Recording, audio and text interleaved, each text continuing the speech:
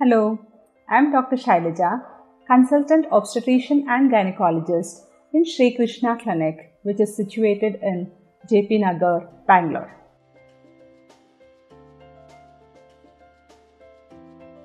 Contraceptive pill is going to prevent pregnancy by preventing the ripened egg getting released into the fallopian tube by thickening the mucus at the cervix so that sperms find it difficult to cross the cervix to reach the womb.